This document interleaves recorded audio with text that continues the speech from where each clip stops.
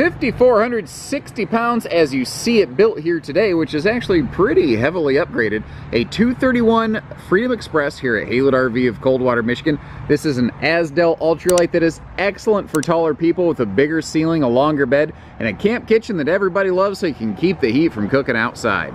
There's a lot of good things about this RV and 100% access to absolutely everything in transit is one of its great qualities. So you look through here, and even with the table up, you could say in the way. I can still walk right through here with a sideways travel trailer two-step. I can get to all of the kitchen. I can get to all of the bathroom. I can even get to all this handy, uh, handy, handy pantry space. Removable shelves, by the way. We'll talk about that more in just a minute.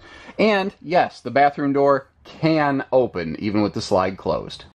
Despite this RV not having the largest living room, it doesn't really look or feel small for a couple reasons. The light color palette really opens it up in here. Also, this has a six foot nine interior, which is very, very uncommon in uh, lightweight laminated RVs.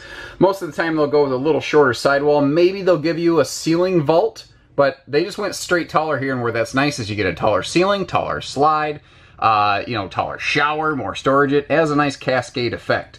If we take a look here at the slide, you see a couple things that uh, this table is free floating and it kicks up for storage. And then down below, there's storage below the entirety of that true long U-dinette that we'll see in sleeper mode in a minute.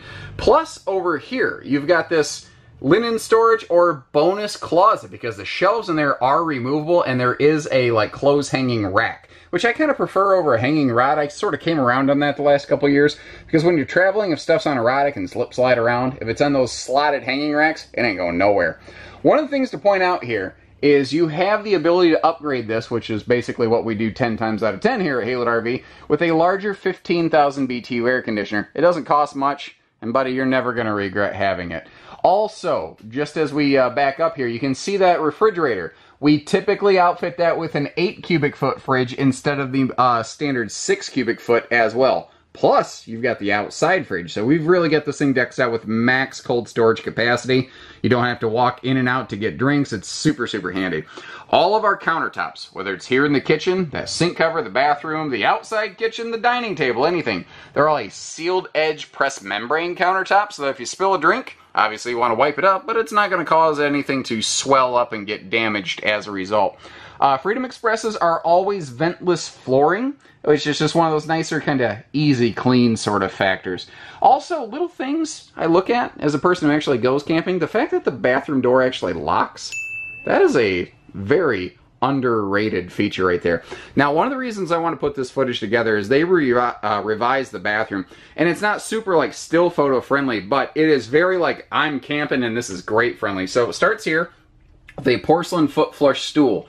But then you see we've got, uh, they, they shrank the shower a little bit. Instead of a 50 inch shower, they went with like a 30 by 36 inch shower, which created room for all that extra storage. And when we take a look inside that bathroom cabinet right there, you can see that we've got hidden hinges. This is all pocket screwed cabinetry, by the way, meaning it, it's uh, not stapled together, a little more likely to hold together better long term. And then just little things like a little laundry hamper. It's just the little touches like that that I love. Now with this being 6'9 tall, a big goofball like me who's 6'2 or 6'3, I can stand in this shower without my head being in the bubble. And that is something that I truly appreciate. Uh, the uh, mirrored vanity back here, you can see, has got some good medicine cabinet style storage. And as we back up past that sealed edge counter, I like the open chunk of space right there because it gives you room for like extra body washes or toilet paper and it keeps it out of the way. But you got this big blank wall and you're like, what, did, what, what's going on here? That's the camp kitchen. So they couldn't do much with it, but what they did above it is absolutely tremendous. They just didn't let an ounce of space go to waste. And you see, it's like it just keeps going. From the bathroom, you can see that we've got that Central Island Entertainment Center. Thing is, Freedom Express has done a really good one, where a lot of other manufacturers have shied away from that. If we take a look here, you can see it does have sliding pocket privacy doors. Also, we've got those uh, blackout night shades, and we've got that seven foot true U-dinette that folds down into a big adult size guest sleeping space. That means that everybody gets their own little privacy. So this is a couples camper that has good guest capacity, not just for grandkids, but uh, you know, maybe you've got tall grandkids or an adult friend, or you like to go buddy camping. You know, it can it can handle all that. Obviously, you see that our TV can spin around here. Well, uh, you know, if you want to be able to face that around toward the bedroom, that is one of the nice things about that Island Entertainment Center. And down below, you see a wide open shelf begging you to expand your entertainment. You've got a Bluetooth DVD player there, but you can go a little crazier if you so choose. Big clutter cutting shoe garage right by the door. And as we come over here into the kitchen, you see that there, uh, it, this, this has one of my favorite features. And, and I wish I could see this in more RVs, and that is the utensil drawer. This is hands down the best use of space under a sink I've ever seen.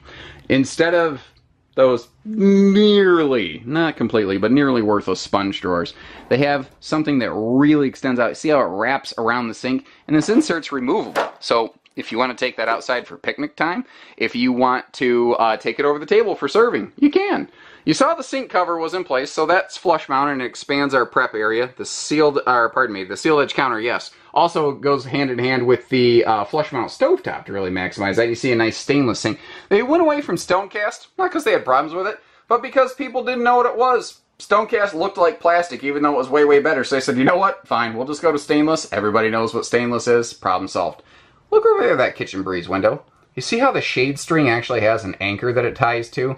It's classic things like that that I, I look at that and there's a hundred little areas I see in this RV where I go, this was made by someone who actually camps. And that's a recurring trend I have of Freedom Expresses time and time again, but it's because it's true. So going past our doors here, one of the things that a lot of people will see, or think at least, when there's an island entertainment like this, is they'll come around and they'll go, ah, oh, crap, Martha, the bed comes like right up next to this thing. It's not a big deal because this is a longer 80 inch true queen. It's not the short camp queen. So if you're long like me, you're not going to be just mule kicking the wall all night, which is a good way to disturb your partner and make everybody upset. Household and USB plugs on both sides of the bed, dual mirrored hanging closets with more of those hanging racks, and a full overhead cabinet, not a shelf. You can put stuff on a shelf when you get there, but a cabinet lets you pack for travel, which is nice. They've also added some nice little things like they used to have like one overhead light here, and, and now they have two. You know, just smart little detail features like that. And oh yeah, by the way, of course, you know, you can spin the TV around, and if you wanted to, you could watch TV from the bedroom. Here in this big pass-through compartment, you can see that aluminum skeleton. Also, you see these couple big black switches right there. This has that, uh, you see the light strip. Just like under the awning, you have a full-length pass-through light strip, which is handier than you realize. And that's one of those good indicators. This is made by people who go camping, not just build campers. There's always a difference. Things like including that outside picnic table. Ever since their 50th anniversary edition, they've been doing that. You got a solar side prep plug right there. Uh, and wouldn't you know you got a big old compartment to be able to hold that.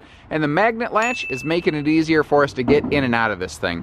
Now, one of the key factors of any Coachmen Ultralight, whether it's the Freedom Express or the Apex sister to this you'd find here at Haylett RV of Coldwater, Michigan, is the abs, uh, abscess Oh my lord, Azdel substrate. That, uh, that went from awesome to gross. I screwed that up pretty nicely. Let me start again. One of the cool parts of this camper is the Azdel use in the sidewalls. It's a Lauan swap. It's a it's a wood panel swap, and what it gives us is a uh, it's a resin material in the walls. The material itself is lighter weight, cannot rot, mold, mildew. It's part of the reason this RV is taller inside without being significantly heavier. It offsets a lot of that. Um, now up front here, we've got our power tongue jack, which is actually an optional piece of equipment on these. Also, note where they put their spare tire. They intentionally put it right up here on the tongue, which leaves the rear bumper wide open. Now, technically, their warranty does not say throw stuff on the bumper. This is built with the intention, though, of leaving that bumper open for folks who want to add a bike rack. You also see that red switch right there. This has a handy battery disconnect as well. This has seal gripping, leak preventing slide walls, so they got a really rough texture to it. And all Freedom Express ultralights, including this 231 right here, will have an enclosed heated belly standard to give you that uh, good sort of extended season protection. So what this means is if it's going to dip below freezing and then come back tomorrow, you're gonna be fine. Jumping over behind the slide out, you see first of all this is wide stance stability axles. And this is one of the shorter RVs in which you'll find that feature, which means this thing tows like a dream. Those do a wonderful job of helping balance out the bouncing and swaying in transit when used in conjunction with proper weight distribution and anti-sway. They're a supplement, not a replacement. You see the centralized hookups all right next to our sewer connection there. Outside shower, separate uh, cable and satellite hookups, a black tank flush, all the goodies, all in the spot of the RV that makes sense because once again, you can tell that it was made by someone that actually goes camping and doesn't just say, hey, wouldn't it be funny if, you know. Um, the uh, backup camera prep on the rear wall here, that's something we can assist you with here at Haylett RV. I don't think on a Freedom Express it's even factory available, but I probably wouldn't do it even if it was, uh, if I was building this. The reason being, we found that through our parts and service center, you kind of see in there in the background, we can add those things for the exact same cost you can get them from the factory. So this way you're only paying for it if you're wanting it, you're not paying extra. Uh, the roof ladder we're looking at is another optional piece of equipment. It gets us up to that walkable roof that we'll see in just a minute. So you can get up there, to your cleaning, your maintenance. I don't recommend getting up there to like hang out and watch a race, but I know people will. So, it, you know, might as well mention it. um, over here, this has not the widest, but still fully equipped camp kitchen. I really like what they do here. It gives you the bigger outside fridge. That in conjunction with the fridge inside gives us pretty darn close to 12 cubic foot of total cold storage. And oh, look at that. That's new. That is cute. Coachmen Freedom Express right there on your spice rack. That's just a nice little touch. I like the tie in there. Just speaking of tying in, just like the inside, you've got sealed edge countertops outside, and that is a real sink, by the way, with a real drain into a holding tank, not just the dog dish that you throw on the ground and or you know at your husband if he's not listening. Am I right, ladies? Anyway, uh, free floating Coleman Camp Grill. Instead of being locked down to the RV, you can pick this up and take it anywhere you want, or throw it at your husband. Am I right, ladies? Anyway, uh, the point here is if you don't want to cook right next to the camper, remember that free floating picnic table we saw? You can cook anywhere you want. No sweat. These all now standard have the nice stable steps that was previously available only on Liberty Edition. Thankfully, that's become more widespread available. You also see the handy little uh, TV hookups here. Under the awning, which naturally has lighting, it has a tilt adjust rain, auto rain dump. Couple things up here on the roof. First of all, you see that white circle hockey puck looking thing? That is going to, uh, that's a basically an attic exhaust vent. So the heat that builds up between the ceiling panel inside and the roof decking outside, it'll let that breathe out and it does wonders toward keeping your RV cooler. Remember, we also like to build these with that bigger air conditioner we talked about inside.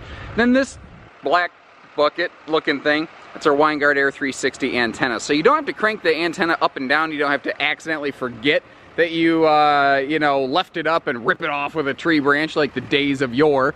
Also, you can upgrade that with a handy little uh, LTE widget that'll basically turn it into an LTE receiver and rebroadcast that via Wi-Fi into your RV. Long story short, you can make it mobile data friendly. Now, as you can see, we are swimming in inventory here at Haylett RV of Coldwater, Michigan. There goes another sold one right now. This stuff rolls out every day. We are a huge volume dealer and all we do is everything except for hidden dealer fees. Doesn't matter where you live. If you appreciate what we're doing here at Haylett RV, give us a call and we'll get you camping. So take care, stay safe, have fun, and happy camping everyone.